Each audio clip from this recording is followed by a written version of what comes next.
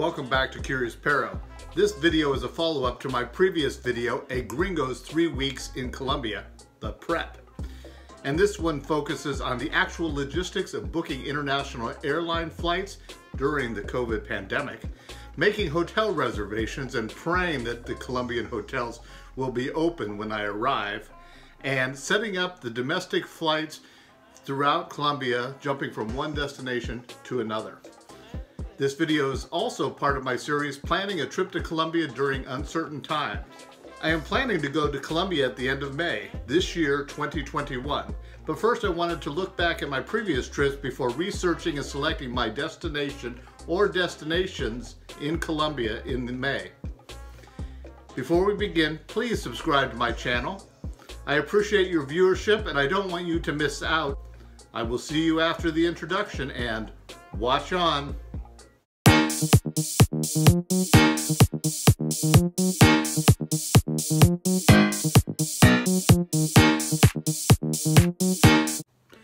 my Colombian travel companion and I decided to start making reservations for my trip at the beginning of November.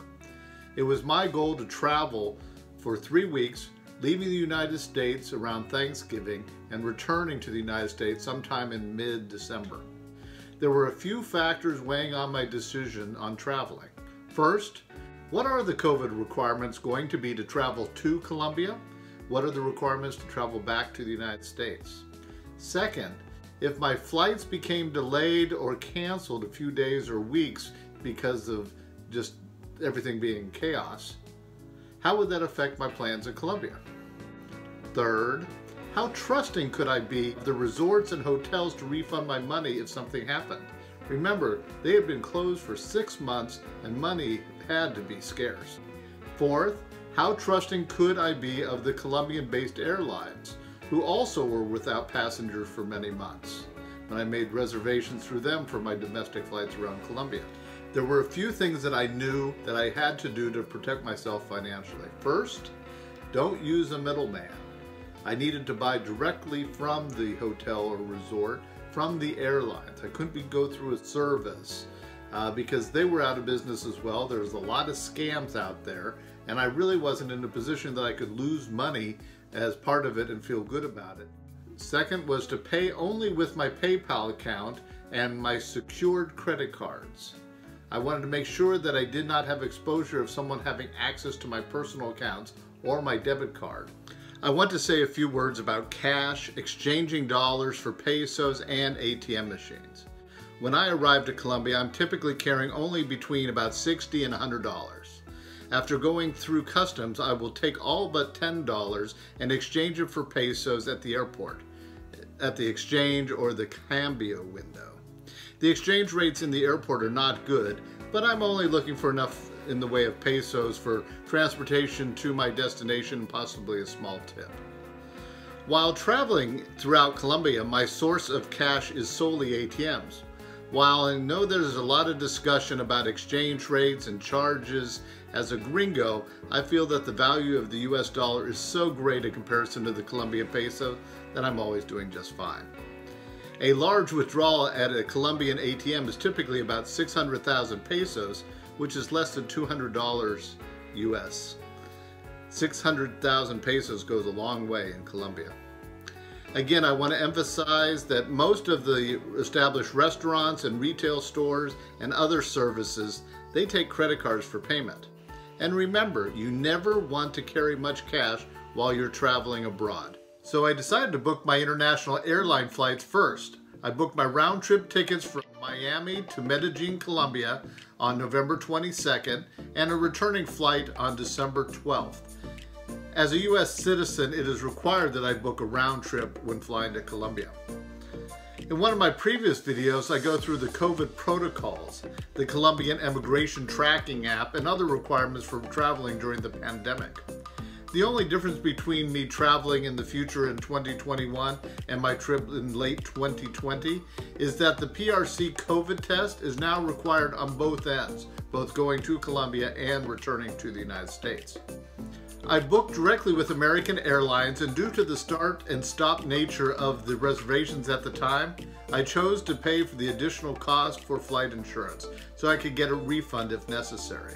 Secondly, I booked my resort reservations at On Vacation Hotel Wayira. It was $340 and two different Decameron resort properties. One on the island of San Andres called the Decameron Hotel San Luis, $820, and a second located in the coffee region of Quindío called the Decameron Panaca. It was $450. Note, these are double occupancy rates.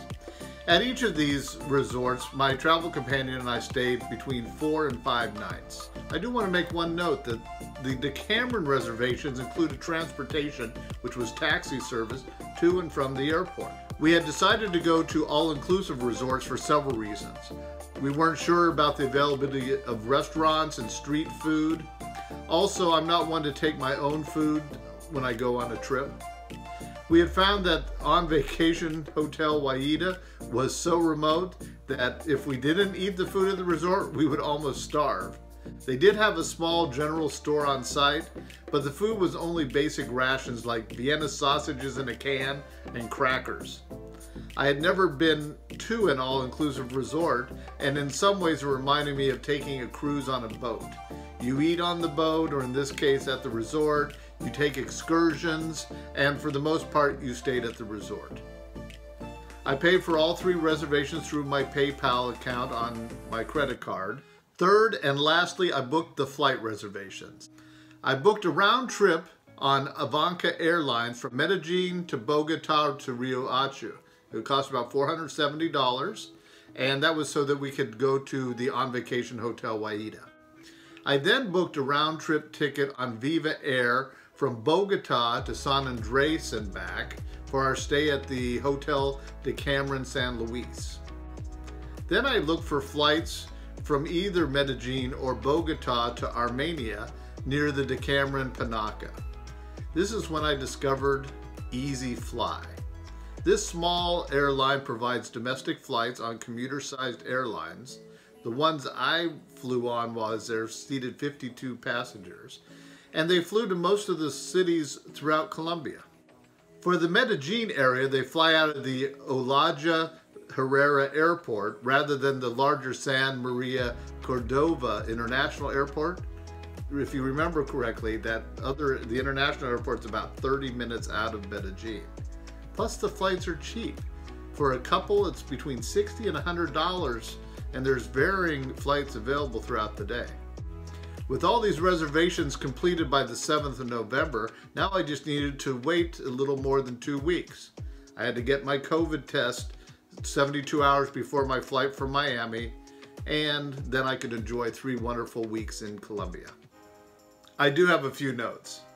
One, due to Hurricane Iota hitting San Andres Island on November 15th and taking out Cameron Hotel San Luis, I had to find a new hotel.